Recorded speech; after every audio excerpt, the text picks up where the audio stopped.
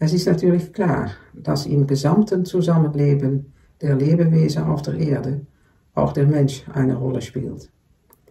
Und so, wie es jetzt gesehen wird, zum Teil zu Recht, wird diese Rolle als zerstörerisch, zerstörerisch gesehen, weil wir die Erde ausbeuten und nicht wirklich etwas an ihre Stelle setzen, zu setzen scheinen.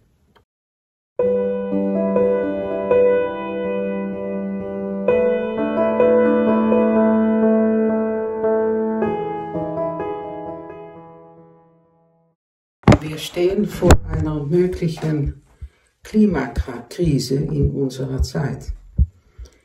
Ich sage möglich, weil die Beweise dafür natürlich ausschließlich aus der Naturwissenschaft stammen und das Klima nicht nur mit der Natur zu tun hat, sondern meiner Meinung nach ganz klar mit dem Geist.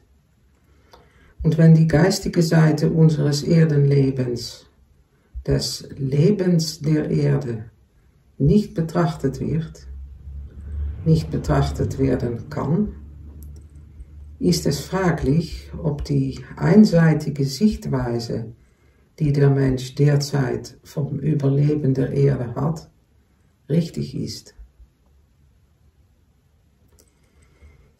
Ich will damit nicht sagen, dass ich die Klimakrise leugne. Natürlich kann man selbst sehen, dass ein Wandel stattfindet. Aber was das in der Realität bedeutet und wie man es im großen kosmischen Ganzen verstehen soll, das ist eine andere Sache.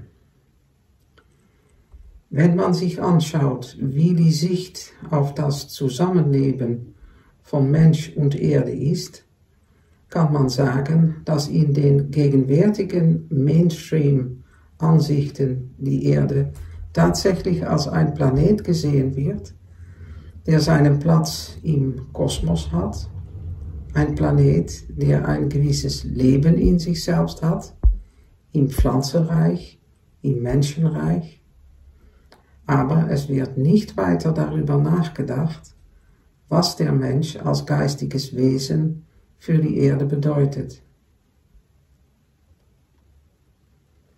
Es ist natürlich klar, dass im gesamten Zusammenleben der Lebewesen auf der Erde auch der Mensch eine Rolle spielt. Und so, wie es jetzt gesehen wird, zum Teil zu Recht, wird diese Rolle als zerstörerisch, zerstörerisch gesehen, weil wir die Erde ausbeuten und nicht wirklich etwas an ihre Stelle setzen, zu setzen scheinen. Das sieht man auch im Tierreich, dass es dort eine Verbindung zwischen Tieren und der Natur gibt. Neulich stand in der Zeitung ein Artikel über die Rückkehr de, des Wolfes in die Niederlande. Und einer derjenigen, die das positiv sehen, ist der Meinung, dass durch die Rückkehr des Wolfes in die Niederlanden die Wälder wieder leichter wachsen können, weil die Anwesenheit des Wolfes das Reh erschreckt. Das Reh, das sozusagen junge Bäume frisst und sich weniger darum kümmert, und so wird das junge Wachstum der Bäume durch die Anwesenheit des Wolfes nicht so stark behindert. Man kann das natürlich alles so sehen, und ich werde die Letzte sein, die sagt, dass das alles Unsinn ist. Aber was natürlich dramatisch fehlt, ist die andere Seite der Vision, und das ist die Seite der, wie soll ich sagen, Spiritualität des Kosmos. Und ich weiß natürlich, dass die Leute darüber lachen und dass das von einem bestimmten wissenschaftlichen System nicht anerkannt werden kann. Aber ich erkenne das an und ich spreche jetzt. Und so werde ich noch versuchen, von dieser Seite aus etwas zu beschreiben, welchen Wert der Mensch für die Erde hat. Wenn man sich die Kohlensäureemissionen ansieht, kann man natürlich auf verschiedene Schuldige verweisen. Und ich sage immer, der größte Schuldige ist der Mensch, denn er atmet Kohlensäure aus und ist damit ein ständiger Produzent von Kohlendioxid. Das war natürlich schon immer der Fall.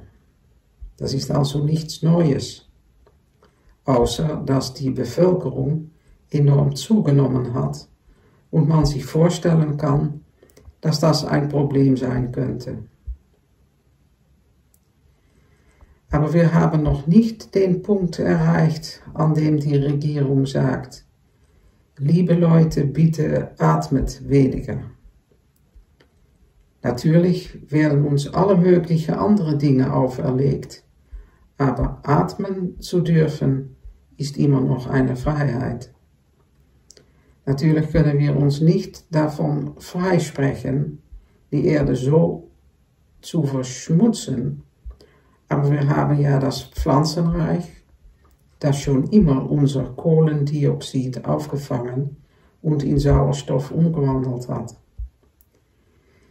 Man kann sich vorstellen, wenn man darüber nachdenkt oder sich das anschaut oder wissenschaftlich untersucht, dass man sagt, also, da muss es genug Pflanzenwelt geben und dann muss diese Pflanzenwelt geschützt werden.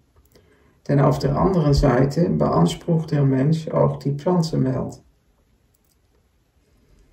Entweder isst er sie oder verbrennt sie oder holzt, holzt sie jetzt wieder ab, holzt Wälder ab, um genug Zinn zu gewinnen, um Batterien zu machen mit denen Elektroautos fahren können. Elektroautos, die so wunderbar gut für die Umwelt sind, fressen dagegen derzeit die Wälder unserer Welt auf, weil für die Batterien Zinn gewonnen wird. Wenn man also anfängt, sich damit zu beschäftigen, und das tue ich nur am Rande, könnte man Bücher darüber schreiben, wie die Menschen die Erde aufbrauchen und was man deshalb als Regierung oder als Mensch selbst tun sollte, um das zu stoppen. Was aber wiederum völlig außer Acht gelassen wird, ist die notwendige Wirkung, die der Mensch auf die Erde hat. Und darauf möchte ich jetzt eingehen. Man könnte natürlich sagen, wenn der Mensch nicht auf der Erde wäre, würde sie blühen. Denn dann wäre dieser Konsument nicht da und dann könnte alles seinen Gang gehen. Dann brauchte man vielleicht noch eine kleine Gruppe, die ein bisschen für Ordnung sorgt, aber ansonsten würde die Erde blühen. Nun, das stimmt nicht. Die Erde kann ohne den Menschen nicht gedeihen. Und was die Aufgabe des Menschen im Moment ist, dafür zu sorgen, dass die Erde tatsächlich nicht untergeht, diese Aufgabe ist völlig, völlig unbekannt. Und ich darf wohl sagen, dort, wo sie bekannt ist, ist sie noch ungeliebt. Und ich habe es mir zur Lebensaufgabe gemacht, immer wieder darauf hinzuweisen, welches Potenzial im Menschen verborgen liegt, das nicht genutzt wird und eigentlich auch nicht genutzt werden will. Das ist das Traurige. Das habe ich mir zur Lebensaufgabe gemacht und jetzt, wo ich die Möglichkeit habe, ab und zu manchmal auch öfter, ein Video aufzunehmen, werde ich von Zeit zu Zeit darüber sprechen. Was ist die Aufgabe des Menschen in unserer Zeit? Dafür zu sorgen oder mitzuhelfen, dass die Erde nicht untergeht. Selbst wenn wir also alle Maßnahmen, die im Programm der Vereinten Nationen vorgesehen sind, umsetzen würden und damit Erfolg hätten, dann würden wir immer noch mit der Tatsache konfrontiert sein, dass die Erde zugrunde geht. Und warum? Denn die Rolle des Menschen ist nicht bekannt und will nicht bekannt werden, weil es uns etwas abverlangt. Und dieses uns etwas abverlangt, darauf haben wir überhaupt keine Lust. Sehen Sie, wir wollen immer noch wohl versuchen, den Schmutz, den wir produzieren, zu trennen. Und wir wollen auch versuchen, uns biologisch zu ernähren und sparsamer zu sein und nicht so viel zu verschwenden. Das können wir alle noch tun. Aber das ist eine Aufgabe, bei der wir sparen müssen, was zu retten ist. Die Erde heilen, das könnten wir. Wir haben als Menschen, wir sind als Menschen das einzige Wesen auf der Erde, das den Geist bei sich hat. Dank der Tatsache, dass es Menschen gibt, lebt der Geist auf der Erde. Und wenn dieser Geist in den Menschen auf bewusste Weise aktiv wird, hat er eine heilende Auferstehungswirkung auf die Natur. Was sollten wir als Menschen also tun? Ich habe hier ein Büchlein, das vor kurzem im Okzident Verlag erschienen ist. Es handelt sich um eine Reihe von Wochensprüchen. Sprüchen für jede Woche des Jahres, die Rudolf Steiner Anfang des 19. Jahrhunderts, 1912 glaube ich, publiziert hat. Wie die Natur funktioniert, was sich verändert, aber vor allem, wie der Mensch mit dieser Natur interagiert kann dadurch erlebt werden. Und wenn man sich dann anschaut, wo wir jetzt in diesem Kalender für die Seele stehen, in dem der Mensch die Metamorphose der Natur erleben kann, jetzt. Ich nehme dieses Video am 21. November auf. Es wird vielleicht viel später gesendet. Aber in dieser Woche und auch in der nächsten Woche noch und wieder ein ganz klein wenig fortgeschritten in der Jahreszeit, wird reflektiert, dass wenn der Mensch mit seiner Seele nicht schöpferisch, intensiv, denkend, fühlend, handelnd mit der Natur leben würde, dass dann die Natur in sich nur ein frostiges, kaltes, leeres Leben hätte. Die Natur existiert. Die Natur kann im Frühling wieder keimen, dank der Tatsache, dass wir als Menschen jetzt mit der Natur leben, mit unserer ganzen Seele, der Intensität, mit allem, was wir in unserer Seele an Erfahrungskraft, Erlebniskraft haben mit ihr denken, mit ihr fühlen. Und nächste Woche geht es dann ein bisschen mehr um das Handeln mit ihr. Das ist ein Aufruf an uns oder vielmehr eine Beobachtung. Und durch diese Beobachtung sind wir aufgerufen, aktiver in der Natur präsent zu sein. Nicht eingehüllt in deine eigenen Gedanken, während du von hier nach dort läufst, während vielleicht deine Kinder vor dir herumtollen und du dich nur abmühst, weil du musst und du weiter in dir selbst bist. Nein, man öffnet die Augen, man öffnet die Ohren, man öffnet den Geist, man sieht seine Kinder man sieht die Natur, man sieht den Herbst, man sieht die Farben, man spürt, wie die Natur allmählich ihre sommerlichen Kräfte verliert und in einen herbstlichen Zustand übergeht, was jetzt immer deutlicher wird. Aber es wird auch immer deutlicher, dass wenn die Natur still wird, dann hat der Mensch die Möglichkeit, in sich selbst aktiv zu werden. Und wenn wir das täten, würde die Erde nicht so sehr verkümmern.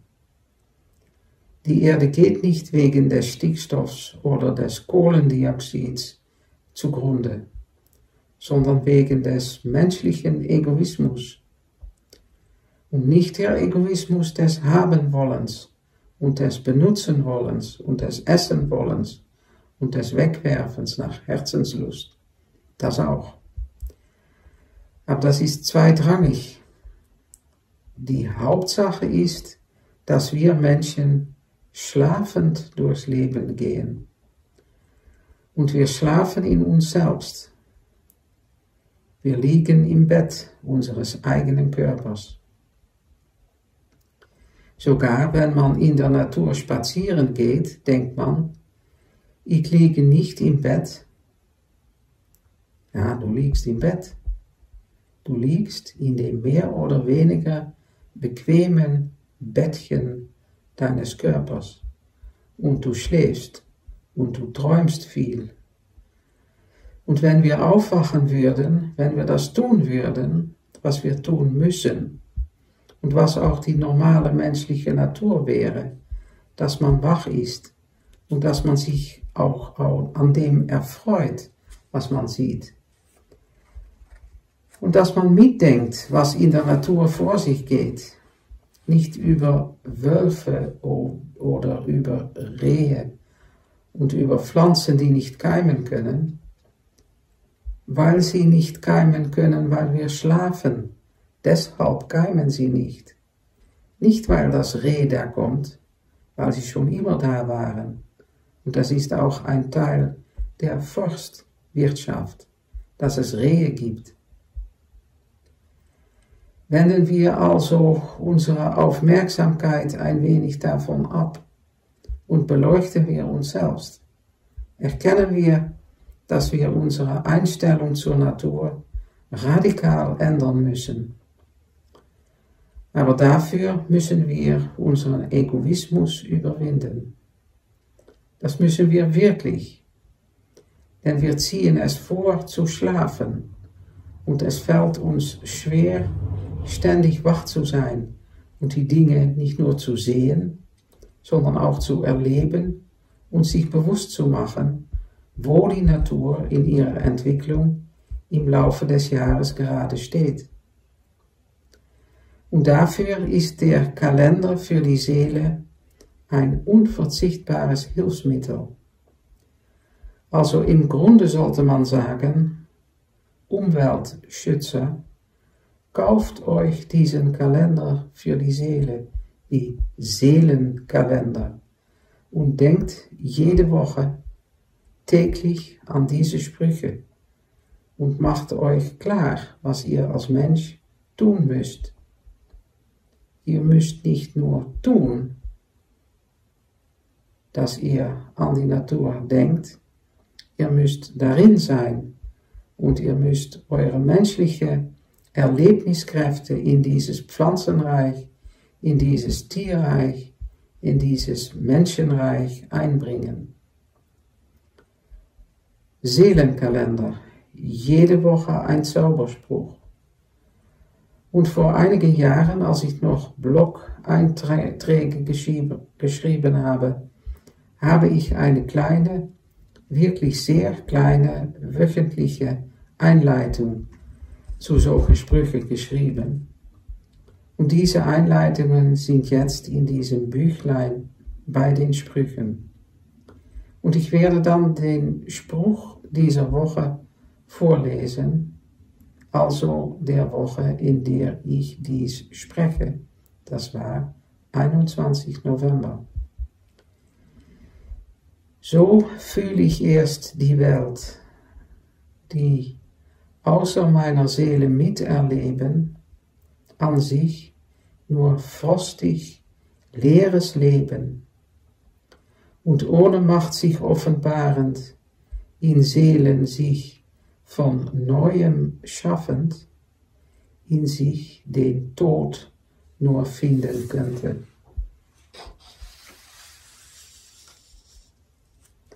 Das heißt also, dass wir als Menschen gerade jetzt in dieser Woche die Gelegenheit haben, die Welt und die Natur wirklich zu spüren. Wenn wir das nicht täten, dann hätte die Natur an sich nur frostig, leeres Leben. Dann würde diese Natur die Macht verlieren, sich zu offenbaren und sich in den Seelen neu zu erschaffen, wie sie es wünscht und auch braucht. Wenn sie das nicht kann, wird sie am Ende nur den Tod finden können. Und dann steht hier im Text, im August spüren wir, wie unser eigenes Wesen, wenn es auf eine einsame Existenz beschränkt wäre, den Tod in sich selbst finden müsste. Die Seele braucht die Existenz der Welt, um selbst zu existieren. Dort war das Verhältnis also umgekehrt. Dort hieß es, man müsse spüren, dass man als Seele die Welt braucht, um zu existieren. Jetzt, im November, spüren wir das Gegenteil. Wir spüren, wie die Welt nicht existieren könnte, wie sie sterben müsste, wenn die menschliche Seele nicht mit der Welt mitfühlen würde. Die Welt muss sich in der menschlichen Seele neu erschaffen können. Und ohne diese Kraft, sich in den Seelen zu offenbaren, würde sie in sich selbst den Tod finden. Das ist es, was die Menschheit tut. Sie, sieht sich vor der sie zieht sich vor der Natur zurück, um die Natur als eine objektive Sache jenseits des Menschen zu sehen. Natürlich wissen sie, dass ihr Körper bis zu einem gewissen Grad zu ihr gehört. Aber die Erde ist etwas anderes als der Mensch. Das denkt man. Nein, die Erde ist der Mensch selbst. Die Erde braucht den Menschen, so wie der Mensch die Erde braucht. Wir können das tun, indem wir uns wöchentlich in einen solchen Spruch vertiefen, der an sich nicht einfach ist, der aber, wenn man täglich darüber nachdenkt, an Bedeutung zu gewinnen beginnt. Ein wenig unterstützt durch das, was ich dazu geschrieben habe. Und wenn man das wöchentlich tut, wird man schließlich wach für den Lauf der Natur, für die Metamorphose der Natur im Laufe des Jahres. Und dann wird auch die Beziehung der menschlichen Seele zur Entwicklung der Natur der Erde deutlich. Wenn wir das tun, werden wir die Erde retten. Wirklich.